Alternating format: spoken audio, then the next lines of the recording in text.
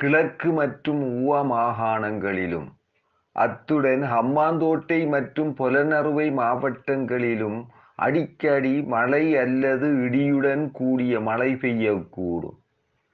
ஊவ மாகாணத்தின் சில இடங்களிலும் அத்துடன் அம்பாறை மற்றும் மட்டக்களப்பு மாவட்டங்களின் சில இடங்களிலும் எழுபத்தி ஐந்து மில்லி மீட்டர் வரையிலான ஓரளவு பலத்த மழை பெய்யலாம் என எதிர்பார்க்கப்படுகின்றது.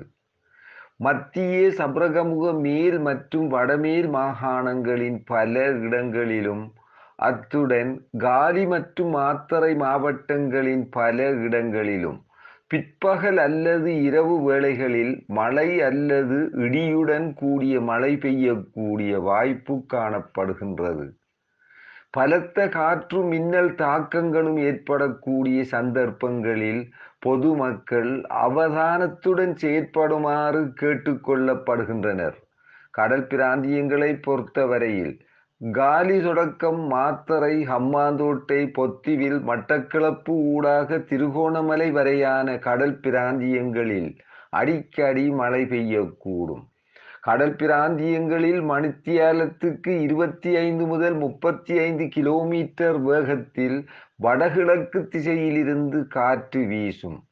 கடல் பிராந்தியங்களில் காற்றின் வேகமானது மணித்தியாலத்துக்கு நாற்பது தொடக்கம் ஐம்பது கிலோமீட்டரிலும் கூடிய வேகத்தில் அடிக்கடி வீசக்கூடும்.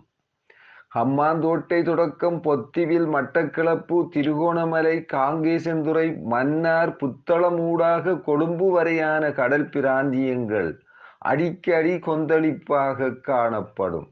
நாட்டை சூழவுள்ள ஏனைய கடல் பிராந்தியங்கள் இடைக்கிடையே ஓரளவு கொந்தளிப்பான நிலையில் காணப்படும்.